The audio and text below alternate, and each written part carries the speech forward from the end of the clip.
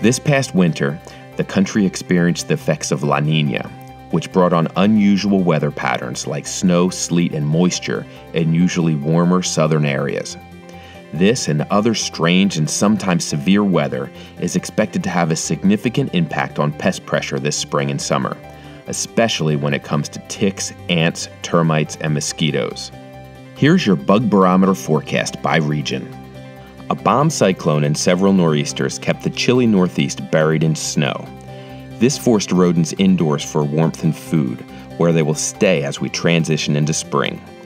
Once the area warms up, ticks could once again become a major concern throughout the area. Ticks will also be on the rise as warm weather and moisture return to the Great Lakes, Ohio Valley, and Midwest regions, where many areas were cold and dry this winter.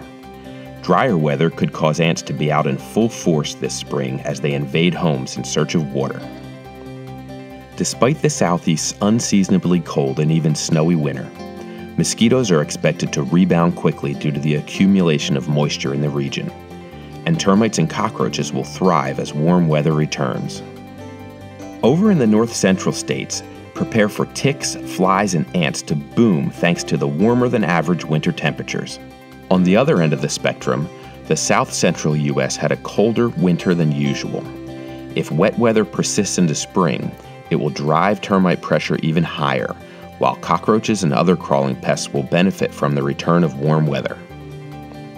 The Southwest is another region that experienced a relatively warm winter, and as temperatures grow even hotter, ants and cockroaches will flourish.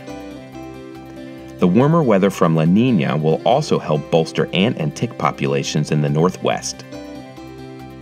Ultimately, the forecast for areas with higher levels of moisture will be a buggier spring and summer, especially for pests like termites and mosquitoes. And tick populations will be on the rise in areas that experienced a warmer and more moderate winter.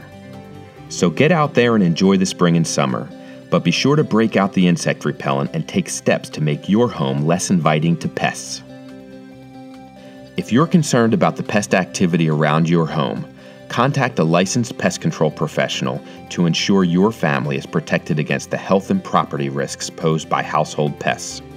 And check out pestworld.org for more information on the pests that are most active in your area.